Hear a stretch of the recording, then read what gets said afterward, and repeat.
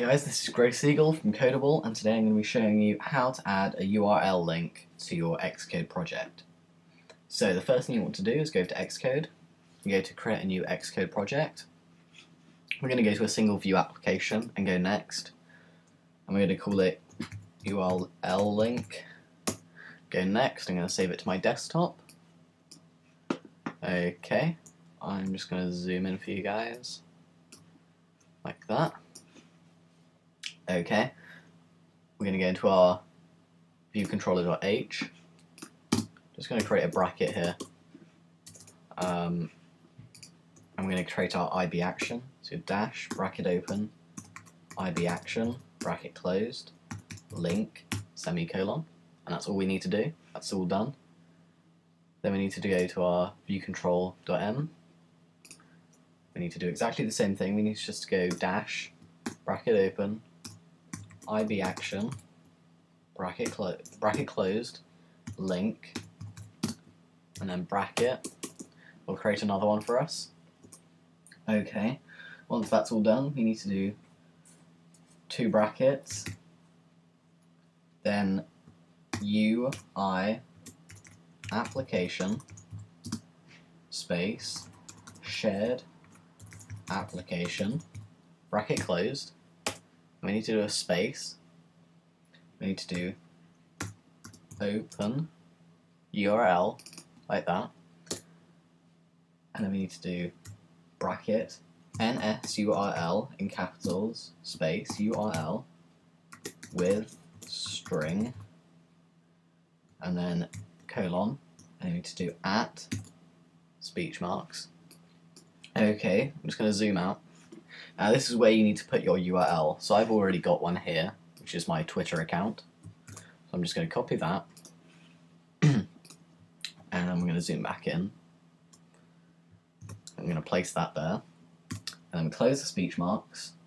And then we do two brackets a semicolon. There we go, and we have got no errors. If I just zoom out, you can see, no errors. Okay. So I'm just going to zoom zoom in for you guys a little bit more.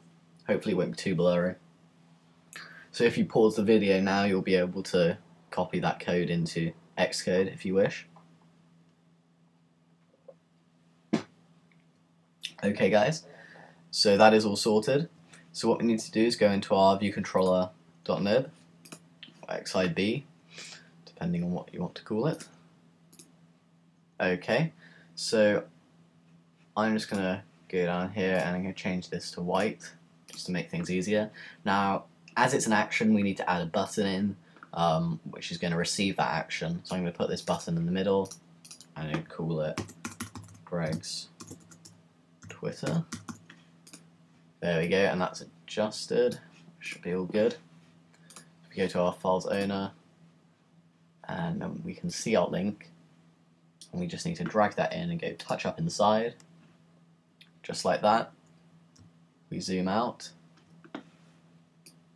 Go to the iPhone 5.0 simulator and we press run. Hopefully this should all work. We have no errors at this point. There we go perfect. So, if I click on this, it will link me, link us to the our my Twitter account. There we go. And there we have it. Brilliant. Work first time.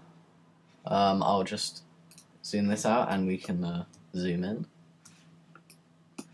There we go. So it's basically like uh, your Safari would be in uh, on your iPod Touch or iPhone. Um, so it's linking us to the Safari application in that. Um, so that's brilliant. Worked perfectly. This is fantastic. I mean, you can use this in so many ways. I use this in my apps uh, all the time.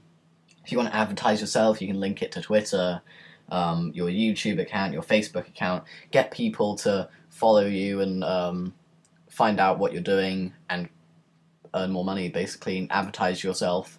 Um, so it's a great way to add that into your app and adds a new dimension.